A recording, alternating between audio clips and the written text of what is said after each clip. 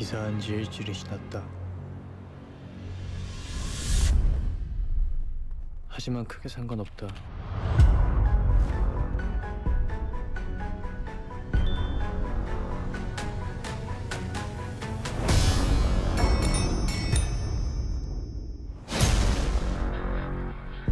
괜찮으세요?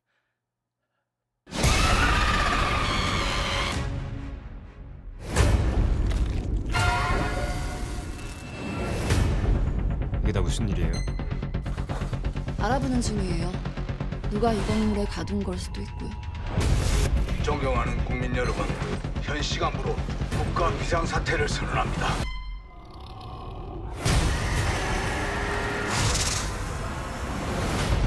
체온 저하, 콧 환청, 환각 등의 증상을 보이는 자는 격리하시고 저 감염자예요.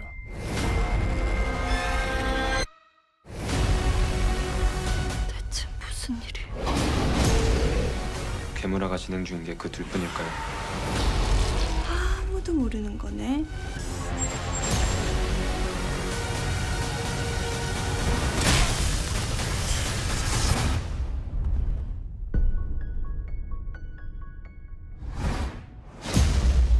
우리에겐 차윤수보다 강력한 무기는 없어요.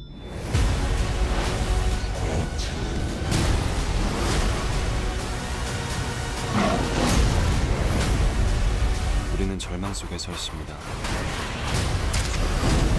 그래도 우리는 살아 있습니다. 그 마지막까지 우리는 견디고 버틸 겁니다.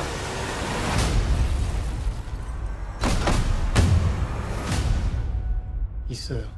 사람을 해치지 않는 괴물들이. 괴물은 괴물일 뿐이야.